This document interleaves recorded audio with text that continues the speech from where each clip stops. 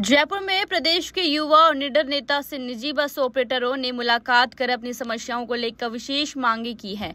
बस ऑपरेटरों ने एक स्वर में कहा कि वे नेता के स्वच्छ प्रशासन और कल्याणकारी योजनाओं के प्रति उनके संकल्प से प्रेरित है और उन्हें उम्मीद है कि उनकी समस्याओं का समाधान जल्द ही होगा। और क्या कुछ निजी बस ऑपरेटरों की मांग है, ये जानने के लिए जनता दरबार पहुँचा इनके बीच और इनसे की खास बातचीत।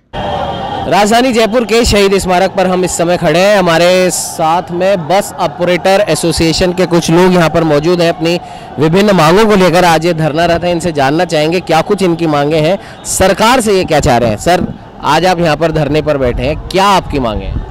हमारी मांग ये है कि राजस्थान सरकार के परिवहन विभाग के द्वारा हमारे बस ऑपरेटरों के साथ आए दिन अन्याय अत्याचार किए जा रहे हैं, नाजायज चालान बनाए जा रहे हैं, नाजायज ऑडिट निकाली जा रही है। और 2014 से आज तक कई बार टैक्स बढ़ गया, कई बार डीजल बढ़ गया, कई बार पार्ट्स की जो है कीमत बढ़ गई, बीमे की दरें बढ़ गई टोल टैक्स बढ़ गए, लेकिन सरकार द्वारा आज तक हमारा किराया नहीं बढ़ाया गया। तो इन सब बातों को लेकर के हमारी मांग है कि हमारी आवाज़ को सुने। और ये सब मांगे समय रहते हुए सरकार पूरी नहीं करती है। लगभग 50 बार हम जो है इनको ज्ञापन दे चुके हैं और हमारी आज तक कोई सुनवाई नहीं की गई है। ना ही हमारे जो है मांगों के ऊपर ध्यान दिया गया है। आज सरकार का ध्यान आकर्षण करने के लिए परिवहन विभाग के खिलाफ एक दिवसीय भूख हड़ताल पर हमारे साथी बैठे हुए हैं। पूरे राजस्थान के भिन्न भिन्न जिलों से मुख्य मुख्य पदाधिकारी आज यहाँ उपस्थित हुए हैं। और अगर सरकार ने भी, भी नहीं सुनी तो हम पूरे राजस्थान में हमारी प्राइवेट बसें जो तीस चलती है उनका चक्का जाम करके अनिश्चित काल धरना देंगे।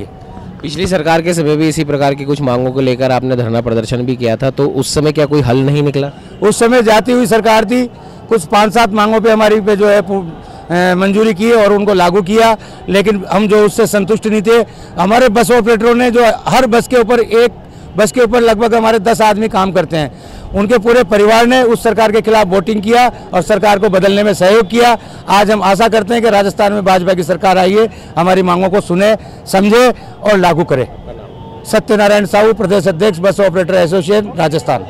बिल्कुल, आपने देखा कि बस ऑपरेटर एसोसिएशन राजस्थान के बैनर तले आज ये धरना प्रदर्शन यहाँ पर जारी है। उनका साफ़ तौर पर है, पिछली सरकार के समय भी इन्होंने अपनी मांगों को सरकार के पटल पर पहुँचाया था, लेकिन क्योंकि उस सरकार ने इनकी मांगों को नहीं माना, इसलिए उस सरकार के खिलाफ वोट करके ये भाजपा की सरकार इन्होंने बनाई है और अपनी बनाई हुई सरकार के साथ में मिलकर ये राजस्थान को चलाना चाहते हैं, लेकिन कुछ एकाध मांगे हैं जो शायद अभी तक इनकी पूरी नहीं हुई हैं और उन्हीं मांगों को पूरा करने के लिए सांकेतिक धरना एक दिन का ये लोग यहाँ पर दे रहे हैं। उनका कहना है कि भजनलाल सरकार जिसको हमने भी वोट दिया है, उस सरकार से हमारी यही आशा और आकांक्षा है कि हमारी मांगों को, हमारी न्यायोचित मांगों को माना जाएगा। सहयोगी कैमरामैन अजय के साथ उमंग माथुर, जनता दरबार।